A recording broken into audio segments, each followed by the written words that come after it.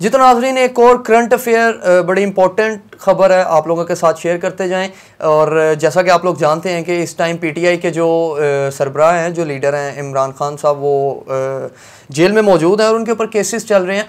तो उस हवाले से आप लोगों से एक अपडेट थी, शेयर करते चलें कि इस्लामाबाद हाईकोर्ट ने साइफर केस में चेयरमैन पीटीआई की दरखास्त, जमानत और मुकदमा अखराज की दरखास्तें मुस्तरद करने का तफसीली फैसला जारी कर दिया है। इस्लामाबाद हाईकोर्ट के चीफ जस्टिस आमिर फारूक ने तफसीली फैसला जारी किया है कि जिसमें कहा गया है कि बादल नज़र में मुकदमे में ऑफिशियल सीक्रेट एक्ट के सेक्शन पाँच का इतलाक होता है, जिसकी वजह से उनकी जो जमानत है वो मनसूख कर दी गई है। इस हवाले से मुमना मैं चाहूँगा कि नाजरीन से मजीद जो इन्फॉर्मेशन है उसको शेयर किया जाए।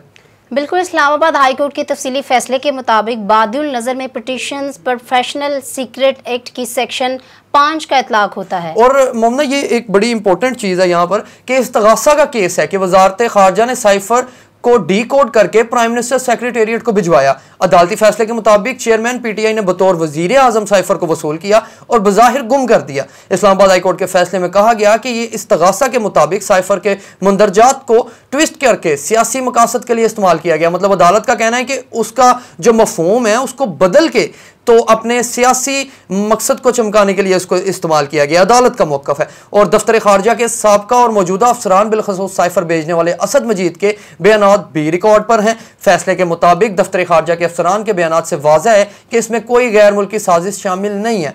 और इस सबसे फ़िलहाल के लिए जो है वो यही ख़बर जो इसमें इंपॉर्टेंट चीज़ है, वो ये है कि इमरान खान की जो दरख्वास्त ज़मानत थी, वो मुस्तरद हो गई है और इस वक्त जो है वो उनकी दरख्वास्त को एक्सेप्ट नहीं किया गया। मजीद वीडियोस देखने से पहले हमारा चैनल सब्सक्राइब करें और बेल आइकन भी ज़रूर दबाएँ।